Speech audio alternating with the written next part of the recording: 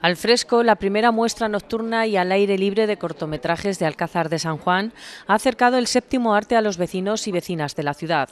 Con ella se ha nutrido de propuestas cinematográficas la noche del jueves. Es el primero, lo que pasa es que venimos un poco de unos años precedidos a hacer esta muestra dentro de la Noche del Patrimonio, pero entendimos y desde Cultura se entendió que, que había la cantidad suficiente de cine como para poder apostar por una noche así.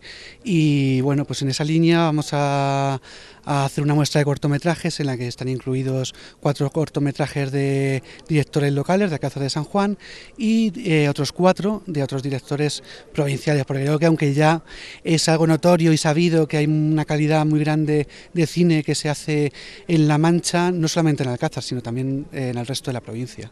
Esta muestra nocturna ha permitido revivir el cine de verano antiguo al aire libre, además de haber sido una oportunidad para conocer cortometrajes que aún se encuentran en festivales y que además fue conducida por el actor Álvaro Márquez. Estoy muy contento porque es, para mí por lo menos es el primer evento que se ha hecho post-COVID y la gente va a poder disfrutar de ocho cortometrajes de todos directores de, la, Ciudad Real, de la comarca, y tres de ellos alcazareños, o cuatro creo, cuatro alcazareños, y, bueno, lo, mejor es que vamos a celebrar un poco el cine. Nos van a deleitar con su obra, con su talento, a seguir animándoles por parte del Ayuntamiento de Alcácer San Juan, que siempre está apoyándolos eh, en sus creaciones artísticas, y nada, a disfrutar de la noche y el cine es el lenguaje de los sentimientos, así que va a pasar una noche estupenda al aire libre de creación artística alcazareña, no solamente para los cinéfilos, sino para todo el público de Alcázar de San Juan en general. Ocho cortometrajes fueron proyectados en esta primera muestra, y es que el nivel cinematográfico que se realiza en la zona de La Mancha es un cine que transita por territorio nacional e internacional, como son las obras de los alcazareños Hugo de la Riva Sancho y La epidemia de Pablo Conde. Se lo voy a contar demasiado arriesgado. Esta es la noticia del año y la tenemos en exclusiva. Ten cuidado, este tío es muy facha.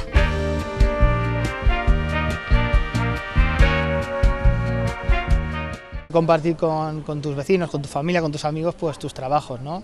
En este caso vamos a ver cortos de, la zona, eh, cortos de Alcázar, de amigos, de, gente que llevamos muchos años aquí haciendo cine y bueno, pues es muy, muy especial siempre presentar los cortos en Alcázar y, más en este entorno. ¿no? Aunque la situación es un poco complicada y es un poco triste ¿no? ver que el aforo no puede ser mayor, pero bueno, eh, yo creo que, con estos pasitos que vamos dando, poco a poco vamos recuperando la normalidad y podemos acercar el cine que se hace aquí a, la gente de, nuestra tierra.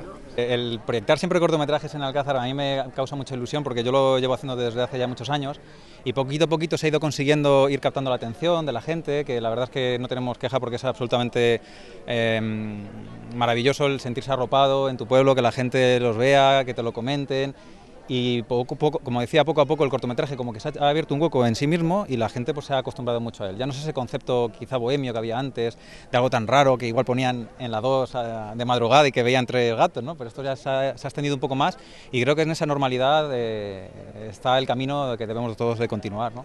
Conocí a Hugo de la Riva, el director, vi trabajos suyos anteriores que me pareció que tienen una factura estupenda, creo que es un cineasta por descubrir esta actividad, que está dentro del ciclo de actividades culturales de los escenarios para el reencuentro, también contó con la figura de Isidro Parra a través del corto del recuerdo de los anchos. Encontrarte un plano blanco de pared, una sombra, todo esto se iba metiendo, iba creando en mí un deseo de una pintura que en aquella época no era muy comprendida, ¿verdad? El cortometraje pues habla un poquito de la importancia de Alcázar de San Juan y el paisaje que rodea a, la ciudad, que él conocía como Los Anchos, en su evolución artística. Entonces es un breve recorrido de su vida y su obra, eh, que se hizo en colaboración con la Fundación Isidro Parra, que preside Manuel Sanz. Y, nada, bueno, pues es un corto que un poco acerca esa figura al, al público, al cazareño, es lo que, lo que pretende. El cortometraje Tengo miedo del alcazareño Gonzalo Escribano, protagonizado por la ganadora de un premio Goya, Luisa Gabasa, y por Ángela Villar. ¿Es un castigo divino? Mamá, es normal que busques justificación a todo esto.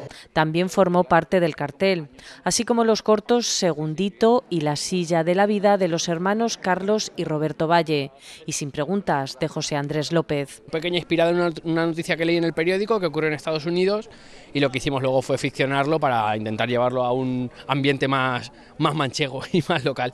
Y un poco de lo que habla sobre todo es de eso, de, de cómo podemos encontrar gestos muy bonitos en sitios donde quizá esperemos, donde estamos muy acostumbrados a que los gestos que se hagan en la tele sean mucho más grandilocuentes o hechos en, sitios mucho más, más amplios. Y creo que todos podemos hacer un poquito, poner un poquito nuestra parte para que el mundo sea un pelín mejor. La silla de la vida eh, trata la historia de dos ancianas que conviven juntas, que son nuestra tía y nuestra, o sea, nuestra abuela y nuestra tía abuela Carmen y María, y como una de ellas, en vez de llevar un andador que sería lo común para, para seguir adelante, pues lleva una vieja silla de madera, que es un objeto muy entrañable y que a mí me llamó la atención pues cuando, cuando pensé en llevar a cabo la historia. Y segundito, es un corto muy cortito de animación, porque la animación siempre es mucho más cara de producir que el cine convencional, el cine de imagen real, y trata la historia de una familia que vive en un reloj. La Plaza de Toros de Alcázar de San Juan acogió esta primera edición de Alfresco, que ha contado con la participación del Patronato de Cultura de la ciudad.